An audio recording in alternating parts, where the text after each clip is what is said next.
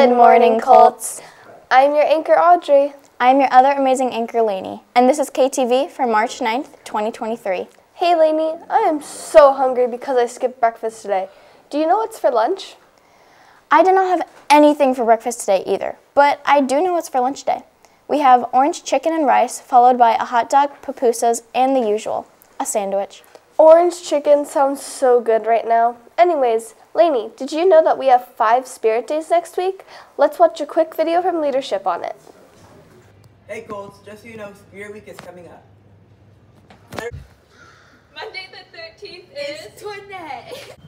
Tuesday is Tacky Tourist Day. Wednesday is Camo Day. Thursday is Celebrity Day. Friday's Green Day! Start dressing up on Monday. Thanks for the amazing video leadership. I hope it doesn't rain during Spirit Week because it sure has been raining a lot last night. I wonder if there'll be any more rain. Good question. Let's check in with the weather studio.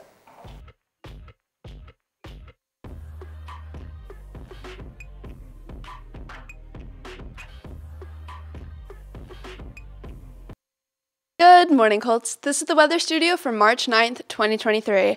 This morning we'll have breezy rain with the winds getting up to 45 miles per hour in the afternoon.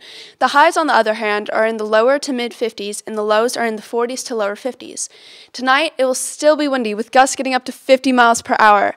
Anyways, I would suggest staying inside because there's a slight chance of thunderstorms. Some thunderstorms may produce heavy rainfall, so that means there's a risk of maybe getting electrocuted if Zeus decides to bring us lightning with all that. This is a little off topic, but I probably but I know probably most of you are going up to the mountains because all of the snow there. But I just wanted to give a warning to all of you planning on going up. The roads are going to be really icy with black ice, and since there was so much snow, some roads have not been plowed yet. So it's definitely a risk to take to head up there. Even to get on the mountain, you either need chains or to have four wheel drive. I would suggest always having chains in your car just to be safe. Most people suggest going to the mountain because they're not going to the mountain because of such conditions. Well, that's it for the weather studio. Make sure to stay safe, and now back to Lainey and Audrey in the KTV studio. Thanks, Caitlin. I will make sure I am not heading up anytime soon. Hey, Audrey, I think we have an upcoming Spirit Day, but I can't remember what we were supposed to wear. Well, I know what to wear. Colts. Next Friday is Green Day. If you don't know what if you don't wear green, you might be pinched. Speaking of Spirit Days, our next dance theme will be Hollywood. Here is, our, here is another video from leadership on the dance.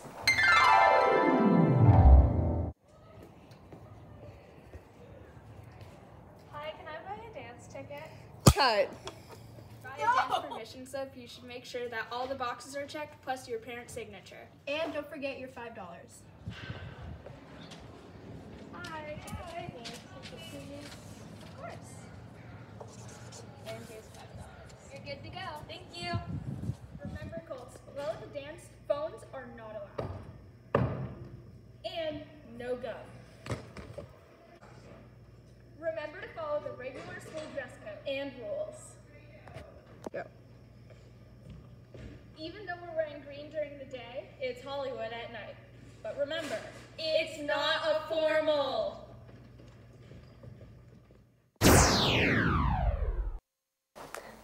Thanks for the video leadership. But gosh, dancing sure gets me tired. I think we should head into the sports corner for a quick break.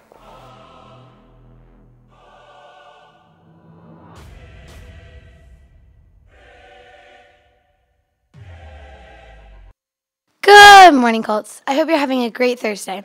It was two powerhouse teams that were going head to head in the KJS gym. The depth and experience prevailed over the KJHS gregarious and undefeated Colts. The went wild. With all that said, yeah, we lost. Anyways, in Casa News, their track and field will be going to the Santa Rosa Twilight Invitational on Friday, March 10th. And Casa's baseball team will be playing Maria Carrillo.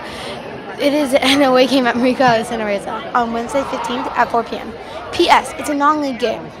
So that's it for today, Colts. Now back to the KD, KTV studio with Audrey and Lainey. I went to go to the snow this weekend. Thanks for the amazing sports report, Zoe. I can't believe our wrestling team lost to Windsor. Well, I'll make sure to go support Casa Sports anyways. Well, Lainey, have you ever heard of the Star Spangled Banner by Francis Scott Key? I know a little bit about it, but can you tell me more though? Yeah, but I also only know a little bit about him and the Star Spangled Banner. Something important that I do know is that he released it on September 14th, 1814. Wow, I didn't know that, but I think Allie and Michael might know more about this topic.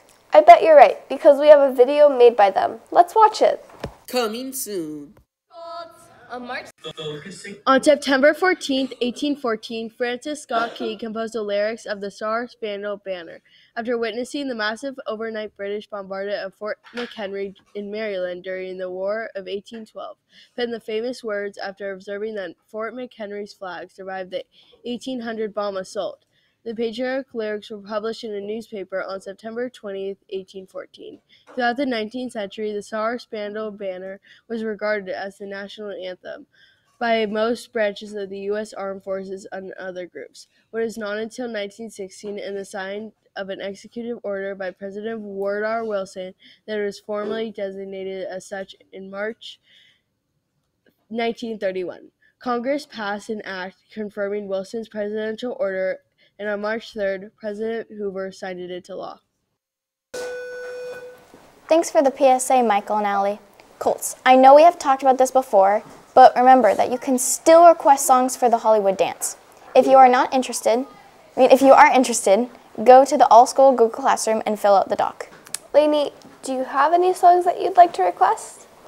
I don't have any songs on my mind that I feel like requesting right now. Well, that's okay. But if you fill out the doc, you'll be able to request the songs. Well, we have a video made by Mr. Mori. Let's watch it. Coming soon. Good morning, Colts. So last week I had talked to you all about new rewards program that we are starting to do with your CARES card. And uh, as I mentioned, it is all about the acronym CARES, showing your creativity, your accountability, your respect, uh, your empathy, and your success. So teachers have these cards uh, they'll be putting your name on it and checking off where you might have um, demonstrated one of these characteristics.